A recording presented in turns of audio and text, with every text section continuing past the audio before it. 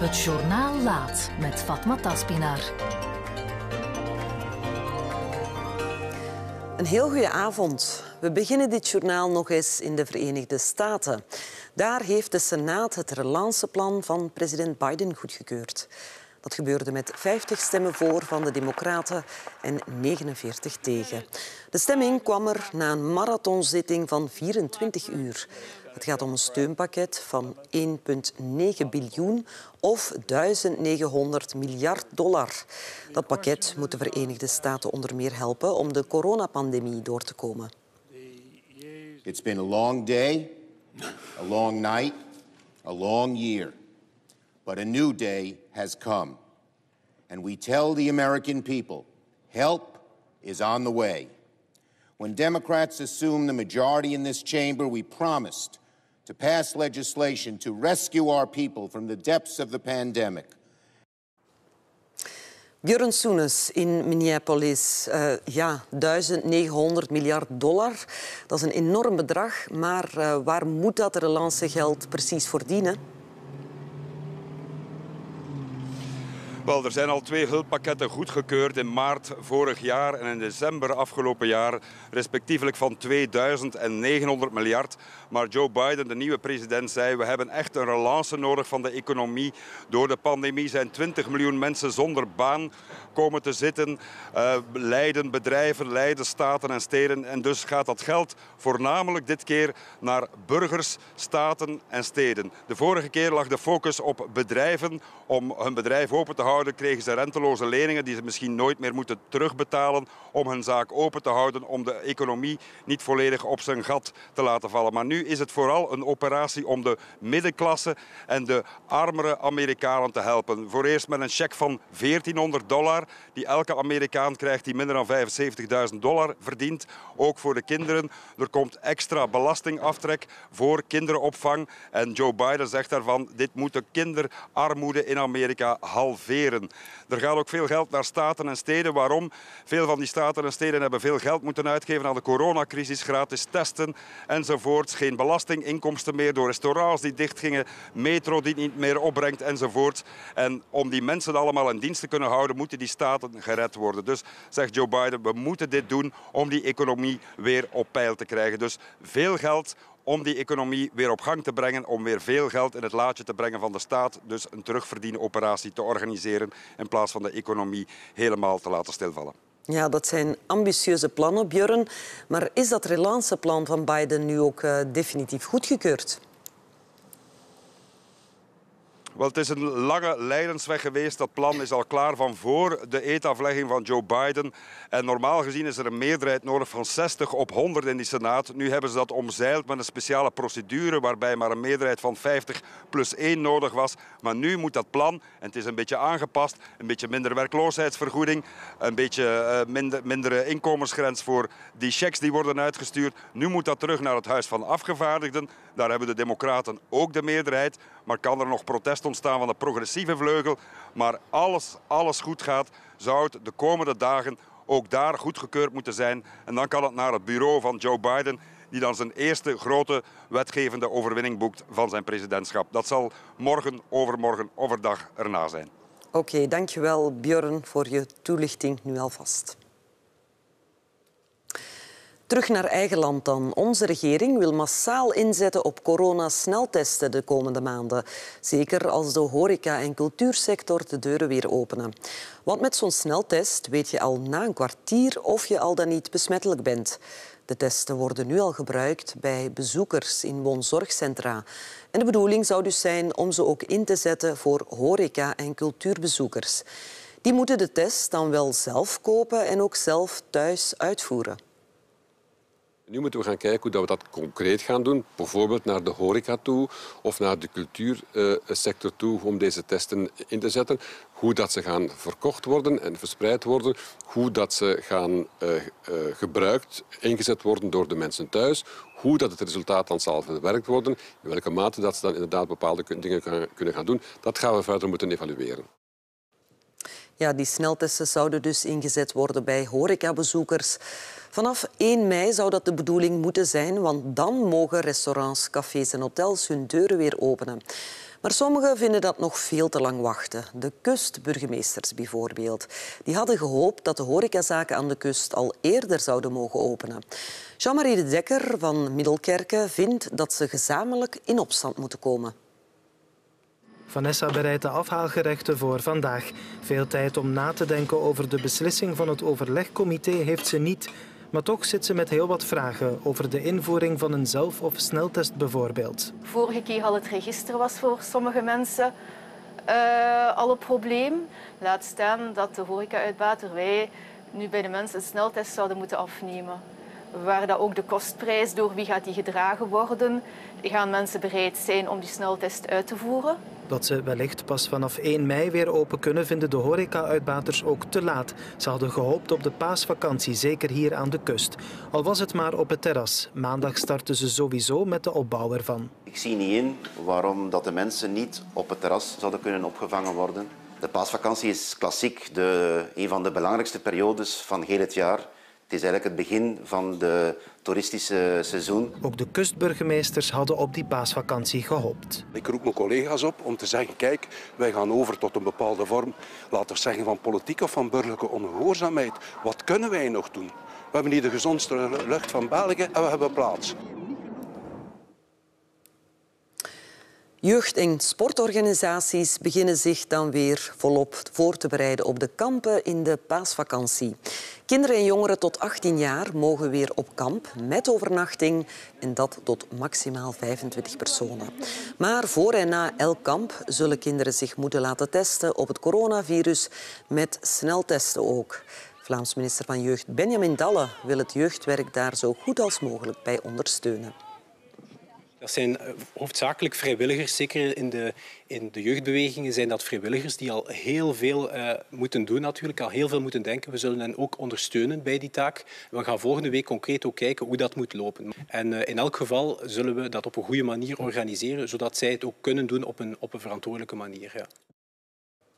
Minister Dalle belooft ook dat er volgende week zal bekeken worden of kinderen weer meer hobby's kunnen doen. Nu was het zo, aanbevolen, niet verplicht, dat kinderen één hobby kiezen. Maar met de huidige versoepelingen in het vooruitzicht hoopt Scouts en Gids Vlaanderen dat ook het advies rond de hobby's kan versoepeld worden. Wel, als zou blijken dat de huidige versoepelingen ertoe leiden dat de keuzebeperking voor één activiteit per week van kinderen herzien kan worden en dat opnieuw meerdere activiteiten mogelijk zijn voor jeugd, dan, uh, dan zien wij dat graag gebeuren indien dat op een veilige, verantwoorde basis zou kunnen. Intussen bent u misschien al druk aan het puzzelen met wie u allemaal buiten wil afspreken vanaf maandag. Want dan kan het vanaf met tien personen. U moet wel afstand houden of een mondmasker dragen. En ook nog goed om te weten, als u bezoekers ontvangt bij u thuis en u heeft geen rechtstreekse toegang tot uw tuin of terras, dan mogen mensen door uw woning naar de tuin gaan. La pace non chiede vincitori né vinti, ma fratelli e sorelle, che nonostante le incomprensioni e le ferite del passato, camminino dal conflitto alla unità. Ja, paus Franciscus is op bezoek in Irak en hij riep daarop tot verzoening tussen de verschillende geloofsgemeenschappen. De paus had vandaag een ontmoeting met de hoogste Sjiïtische geestelijke leider van het land. En hij eindigde de tweede dag van zijn historische bezoek met een misviering in een kathedraal van Bagdad. De paus moest een stukje te voet door de nauwe straatjes van de heilige stad Najaf om bij de hoogste Sjiitische geestelijke leider van Irak op bezoek te gaan. Franciscus en groot Ayatollah al-Sistani, 90 jaar oud, hebben drie kwartier met elkaar gesproken. Daarna reisde Franciscus naar de Bijbelse stad Oer, de geboorteplaats van aartsvader Abraham. Dove visse Abramo nostro padre, ci sembra di tornare a casa. De paus riep erop tot eenheid en verzoening tussen de godsdiensten en veroordeelde het religieuze geweld dat Irak de voorbije twintig jaar geteisterd heeft. E noi credenti non possiamo tacere quando il terrorismo abusa della religione. In de hoofdstad Bagdad vierde de paus de mis in de kathedraal van de Galdeeuwse christenen. Het bezoek van Franciscus en de hartelijke ontvangst die hem te beurt valt... zijn een opsteker voor de stinkende christelijke minderheid in Irak. Mooi sportnieuws vandaag. Op het EK Indoor Atletiek in Polen heeft Elise van der Elst goud behaald in de finale van de 1500 meter. Van der Elst maakte het verschil in de laatste 200 meter en snelde onbedreigd naar het goud. Het is de derde Belgische medaille op dit EK. Eerder pakten Nafitiam en Noor Vits goud en zilver in de vijfkamp.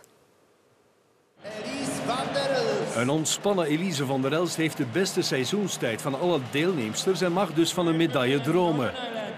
Drie Spaanse atletes houden het tempo laag in deze finale van de 1500 meter. Van der Elst kan energie sparen in de binnenbaan. Maar dan wordt het toch zoeken naar een gaatje om voorin te raken. Van der Elst gaat buitenom en knokt zich naar voren. Vindt daar een gaatje en moet dat doen. En moet nu doortrekken. Bijna een valpartij. Veel krachten, maar ze geraakt. Krijgt nog een duwtje van Barisevic op twee ronden van het einde. Wat een gevecht is deze finale. In de laatste ronde probeert de Spaanse Guerrero op kop te blijven, maar een ontketende Van der Elst snelt haar voorbij naar de overwinning. Elise van der Elst wordt Europees indoorkampioen, dat is nu al zeker. Met een straatvoorsprong na een gevecht in een bijzonder trage tijd. 4.18.45. Tijd heeft geen belang. Nee, want de titel is binnen. Ook nu een ontspannen lachje na een heroïsch gevecht met de Spaanse Guerrero. J'ai essayé de me caler dans sa foulée. Je savais que je l'avais déjà battue cette saison, donc c'était pas impossible de la battre. Donc je me suis dit, allez, accroche-toi, c'est possible, tu peux l'avoir, donne tout. Van der Elst bezorgt België een derde medaille. Ze wordt de eerste Belgische die op een EK indoor goud pakt op de 1500 meter.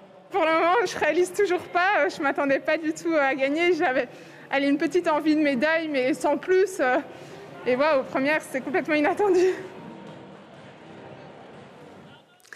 En Mathieu van der Poel heeft de Strade Bianche gewonnen. De Nederlandse kampioen sprinten in de steile laatste kilometer weg van wereldkampioen Alaphilippe en van Bernal.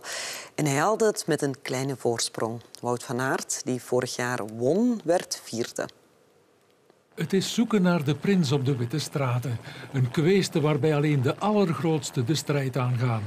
Een verbluffend sterke Wout van Aert zorgt daarvoor op de moeilijkste gravelstrook op het parcours, de strook Cancellara. Er vormt zich een kopgroep van zeven wereldwonderen van de wielersport met Van der Poel, Van Aert, Alaphilippe, Pitcock, toerwinnaars Pogacar en Bernal en outsider Gogel. Als Alaphilippe aanvalt op iets meer dan 20 kilometer van de streep, krijgt Wout van Aert het moeilijk. Maar zijn weerbaarheid is nog niet gebroken. Dat gebeurt wel als Van der Poel aanvalt. Eerst wereldkampioen Alaphilippe en iets later Bernal keren nog terug tot bij de Nederlandse kampioen. Maar als Van der Poel een tweede keer aanvalt in de laatste kilometer is de strijd gestreden. De wereldkampioen veldrijden wint de Strade Bianche voor Alaphilippe en Bernal. Wout van Aert wordt nog vierde. En in het voetbal zijn er vandaag al drie wedstrijden afgewerkt van de 30ste speeldag. Zo pas heeft Antwerp met 4-2 gewonnen van KV Kortrijk. Eerder vandaag ging Beerschot met 1-2 winnen bij Waasland Beveren en speelde Eupen en Oudheverlee Leuven 3-3 gelijk. Antwerp nadert tot op 12 punten van Club Brugge dat morgen tegen Zulte Waregem speelt. Beerschot is nu zesde, Oudheverlee Leuven zevende en onderaan ziet het er slecht uit voor Waasland Beveren. Met nog vier speeldagen voor de boeg heeft het twee punten achterstand op Moeskroen, dat morgen nog standaard ontvangt. Zien jullie die drie sterren op een rij? Ja. Ja, dat is het sterrenbeeld Orion. Mooi, hè? En zien jullie dat vlekje daaronder? Nee. Ah ja, dat is door de lichtpollutie. Ja, lichtpollutie of lichtvervuiling, dat is wat de Gentse volkssterrenwacht Armand Pien wil meten. Als er te veel licht is, kan je de sterren niet goed meer zien. Het is ook schadelijk voor nachtdieren en mensen kunnen er slaapproblemen door krijgen. De Volkssterrenwacht roept iedereen dan ook op om de komende avonden sterren te tellen en door te geven op hun website. In het centrum van Gent, vlakbij de Boekentoren, ligt Volkssterrenwacht Armand Pien. Jaar na jaar merken ze hier dat het moeilijker is om naar de sterren te kijken. Wij sturen gigantische hoeveelheden kunstmatig licht naar boven, naar de hemel, waar het zich verspreidt en waar het ons echt het zicht op de sterrenhemel ontneemt. En dat gaat zeer snel. Ik heb gehoord dat dat met meer dan 2% per jaar toeneemt. Dit is de hemel boven Gent met lichtvervuiling en zo zou die eruit zien zonder. Om de lichtvervuiling in heel Vlaanderen te kunnen vergelijken, vraagt de sterrenwacht om de komende dagen dit sterrenbeeld te zoeken. Orion, de zandloper met de drie sterren in het midden. Onder zeer goede omstandigheden in Vlaanderen zou het toch moeten mogelijk zijn om daar zeven à acht tellen, sterren uh, in te tellen. En dan bedoel ik echt in het binnenste van het sterrenbeeld Orion. Maar helaas is dat heel vaak niet het geval. Bijvoorbeeld nu vanavond in Gent hebben we al eens gekeken en we zien er eigenlijk maar vier. Wie wil meetellen vindt alle info op de website. Ook astronomiefotograaf Jan Scheers uit Drongen doet mee. Hij hoopt dat Vlaanderen een beetje donkerder kan worden. Eens dat eigenlijk iemand uh, een melkweg heeft gezien, als je bijvoorbeeld op reis gaat of in donkere gebieden, dat vergeet je niet. Dat is fantastisch uh, om te zien. En wij ijveren eigenlijk of hopen dat we misschien op termijn, ook hier in Vlaanderen, toch enkele plekjes kunnen terugtoveren waar eventueel een melkweg terug te zien zal zijn. Morgen start ijskoud met eerst nog opklaringen, maar in de loop van de dag meer wolken vanaf het noorden. Het wordt niet warmer dan 5 graden en er is ook een zwakke bries uit het noorden. Om af te sluiten, de Marswagen heeft er zijn eerste tochtje op zitten. Ver reed hij niet, een goede 6 meter, maar voor de Amerikaanse ruimtevaartorganisatie NASA is het een mijlpaal. De komende twee jaar moet de Perseverance in totaal zowat 15 kilometer rijden om het oppervlak van de rode planeet te verkennen. wij gaan nu de avond verkennen of wat er nog van overblijft. Heel fijn dat u keek. Heel graag tot morgen.